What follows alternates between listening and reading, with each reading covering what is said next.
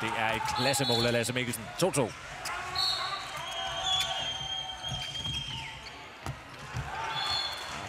Godt udnyttet.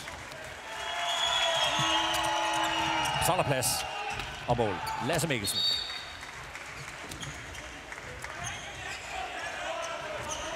Ja.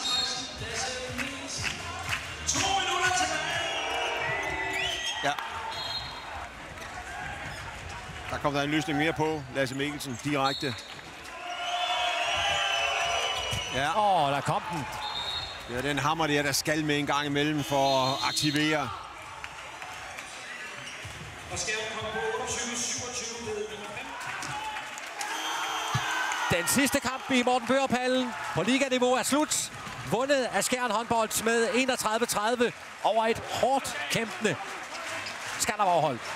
Jamen en øh, uh, formidabel... Altså, bortset fra, at øh, uh, Mort Bøgerpallen ikke vandt det her, så kunne den ikke have ønsket sig en bedre afslutning. Det var håndbold for fejnsmækkere, og der var det drama, som alle kan lide, når man kommer ud i haller som Morten Bøger.